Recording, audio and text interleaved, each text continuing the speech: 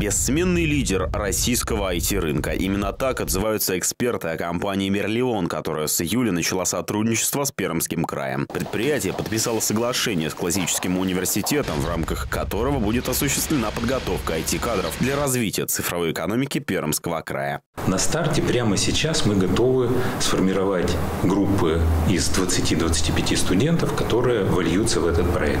В перспективе мы очень признательны партнеру, если мы выйдем на заявленное количество в 200 человек для нашего партнера.